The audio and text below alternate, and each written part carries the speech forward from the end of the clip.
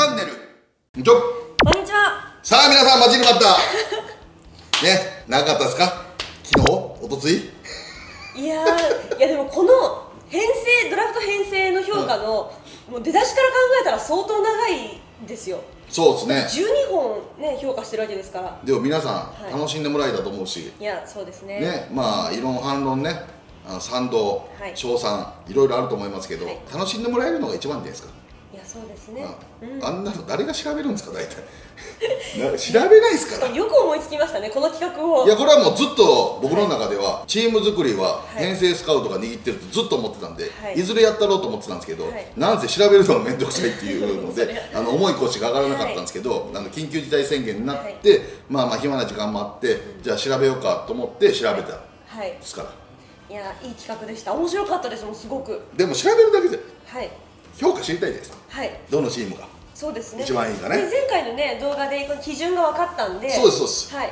なんとなく納得っていう感じはしてるんですけど。それに照らし合わせて、はいまあ、あの全部の数字を、まあ、調べてきたんですけど、はいこれがまあ全体的なねあの数字ですけどやはりもう何回も言いますけど、はい西武のねこの SS20 っていうのがうん。際立ってちょっと圧倒的すぎますよね。際立ってすごいっていうねはい。あとあの無印がねはい。34と。少もう。圧倒的に少ないっていうところで、はいまあそのね SS の選手が抜けていくっていうのもありますけど、抜けてもその後作っていくっていう部分では、この編成っていうやりくりがまあ素晴らしいなと思いますしだからそれをね数字だけじゃ分かりづらいじゃないですかはい。パーセンテージで。まとめてきました。はい。これです。はい。だからまああのこうね皆さんまだテロップが出てると思いますけど、はい。これはあの分母があの全最高は78人なんですよ、はい。この94年から2018年までドラフトの,、もうあの1位から3位まで、はい。であの高卒と大卒社会人が分かれたところは、まあ、4人になるんでで全部をがすんなり入ってくれると最大分母は78人なんですよ。はい。でそこに拒否拒否した選手とかあの入団しなかった選手がいるんで、はい。それは分母が77とか76とかになって、ちょっと変わってきちゃうんです。そうねですで分母が変わってその分子であの確率出したんですけど、はい。確率出してもですね西武がはい。S 以上はい。28%っていう。おお。で要はドラフトの28%以上が、はい。もうあのタイトルホルダーになるんですよ頂点見てるわけですね。グラフ3以上。すごくないですかタイトルホルダーにだから4分の1以上ですよはい。ほぼすごい25パー以上ですもんね。だからほぼだってもう3割がはい。タイトルホルダーになるドラフトはい。すごくないですか？すごいですね。いわば4人に1人か。そうですね4人に1人以上ですよね、以上はいはいだから3年に2人はい。9人中2人だからそのぐらいですね。はい3人3年に2人、はい。タイトルホルダーをはい。ドラフト3巡目以内に取るってすごくないですか、すごいです。だってその4位以下にもだっていい選手ってまあもちろんいるわけで、そうそうそう。はい。ドラフト上位だけで上位。だけいるってことそれは強いやっぱりねそれは皆さんもね下位もいい選手いるよとうん。思いはあると思うんですけど、はい。上位にいい選手が必ずいて下位からも押し上げるとチームは強くなるんですよ。ですね。上位にいないで下位だけっていうのはやっぱ苦しいですそれはまあそのチームの編成上ね、そうなると FA と取ってきたりとかトレードしたりとか、外国人取ってきたりそのドラフト以外の戦力で補わなきゃいけなくなるんで、はい。まあ、お金もかかるし、チームとしては大きなマイナスになっていくんで、はい。やっぱこの1位から3位までがやっぱり絶対に活躍しないと続かないっていうのが、はい。やっぱ出てでもそのねドラフト1位から3位で成功しないチームはねダメっていうのもね数字で出てるんですけどあ。それはまあおいおい語っていきますけど、でライオンズなんてだって A 以上はい。だから要は球界のトップクラス以上が38%ですよそうです、だから4割。はい。4約4割じゃないですか。ということは1年に1人は絶対、ね。あのもう球界トップクラスいるんですよ。はい。すごくないですすかごいです。3人中1人は絶対ですよ、はい。A 以上が38パー。はい。えじゃあ他の球団どのぐらいなんだ？S でいうと次に高いのがジャイアンツとホークスなんですよ。が、まあ、22%パ22パーまあそれでも多い S 以上、ですね。うん。うん。それでも多いですはい。で A 以上で29パ20だからホークスが A 以上で29%だからまあいわば1年に、まあ、1人いるかいないかぐらいの確率では球界のトップクラスは取れてるんですよね。ー。カープも29パーですね。あ A 以そうですね。上だと。カープとハムが S 以上が21%なんではい。大体だから5人5割でしょ。5人に1人だから、はまあいわば2年に1回はうん、その旧タイトルホルダーをまあ平均で取れてる。まあ、代表レベル選手がいるっていう感じですね。だから逆に一番少ないのが、まああのね、何回も言って申し訳ないですね、僕はね、阪神が嫌いなわけでもないし、袴田さんはね、阪神の名前出しますけど、僕らは阪神が嫌いなわけじゃないですよ、そんなことはない事実を言ってるだけであって、あのまあ、阪神は、はい。あの10%しかあの S 以上の選手がいないんで、はい。まあ、10%っていうと、まあ、1割じゃないですか、はい。1割だと3年に1人です。はいもう私も阪神阪神って言ってましたけど、うん。あのイーグルスも10%なんですよ。はい。はい。あそうです、はい、でも、はい。あの近鉄も絡んでるんで。そうですね、はい。近鉄イーグルス合わせて10%ですか？これは。楽天の10%は楽天だけです。近鉄入れてないです。あそうなんだ。はい。だからあの2005年からはいだから2004年のドラフトからですね、うんうんこのパーセンテージは楽天の場合近鉄入れてないんですよ、入れてない、はい、だから要は楽天だけで10%だから楽天も何気にドラフトそんなうまくないんですよ。そういうことですよね、はい。まあ、タイガースと一緒の10%ってね、そうそうそう。だからあの分母が上がれば、はい。分子も上げないと確率下がるし、はい。分母が下がれば分子が高いと上がるんですけどだからこう確率はまああの年数長い短いあるかもわかんないですけど、まあ、そこは統計的には平等ちゃうかっていうところで、パ・リーグで言えば上から言うと西武28%ホークス22%で日本ハム21%ロッテ18%オリックスが14の楽天10%ですよね、このはい。S 以上のタイトルホルダーのでいうと、はい。セ・リーグでいうとジャイアンツが1位で22%でカープが21%でヤクルト20の横浜が16で中日15の阪神が10%ですよね、うーん。まあでもこれって意外となんとなく見えてくるものはありますね。あるんですよ。これね、うん。この中からい優勝する秘訣見えまし優勝する優勝するだって優勝する秘訣。た、はい、やっぱりねこのドラフトのうん。1位から3位をね成功しないやつは、はい。にしないやつはっていうかしない球団ははい。優勝できないです。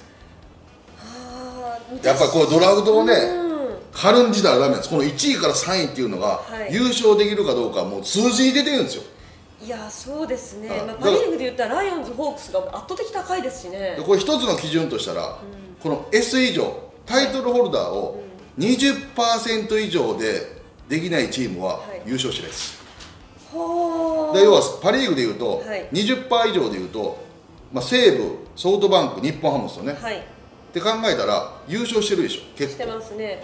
結構常連組、うん要は20%以上の確率がないとこのはい。タイトルホルダーの確率があの優勝の常連組に入れないんですよ。はい。ドラフト1位から3位で。う、んうん。であのセ・リーグでいうとジャイアンツが22%、はい。でカープが21%、近年のリーグ優勝してるチームですよ。ねそうですね。いやだから上位のドラフトって大事なんですねやっぱりね。でこれはまた次の動画でい。ちょっと年度ごとに振って調べていくんで、おー多分これの20%っていうのが僕はい。い調べててこれ20%がい。その近年ドラフトで取れてるかどうかでその後の優勝に近づくんちゃうかって見てるんでちょっとね紐解きながら見るとえこの時このチーム強かったじゃんのはい。答えが分かるかもしれないんで、うん。これは全体的な数値なんで、はい。あの細かく年数切ってまた後で調べてやりたいと思いますけど、はい。パ・リーグでいうと20切ってるのはロッテ、オリックス、楽天じゃないですか。でやっぱまあ優勝しないじゃないですか。で楽天はあの、楽天のドラフトのところで見ましたけど、やっぱマー君なんですよ。そうですね。はい、24勝0敗なんですよ。はい。まああれが24一人で貯金そうそうそう。あれがやっぱでかいんですよね。はい。だからあの続かないところはこの10%のところなんですよ。そうですね。結局は。まあ、一回何かのこう要因があって優勝できても続いていけないっていうところがそういうところでそうなってるくると、うん。何をしなきゃいけないんですか？優勝するためには。優勝する。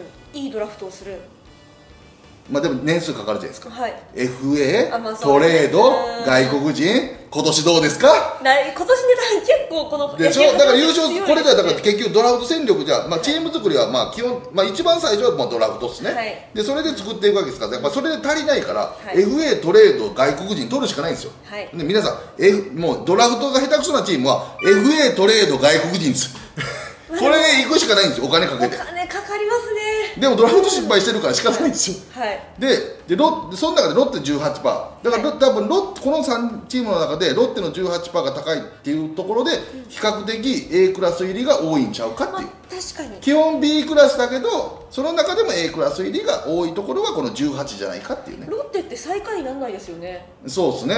まあなったこともありますけど、はい。比較的なんないですね。近年なんか3位とか4位とかが多そうですね。いイメージそうですねからそこが、まあ、この20に近い。でも20いかないと、はい。やっぱり優勝できないんですよ。優勝まで上り詰めていけないと。そうそうそう。でセ・リーグだったとしても、はい。20以下で言うと横浜阪神中日じゃないですか、うん。やっぱまあ全体的に言うと近年はね、はい。っていうところもなりますよね。そうですね。でねあの時強かったじゃないか阪神とか中日。それはね年度ごとにやっていきますから待ってください。これはね全体的なやつです。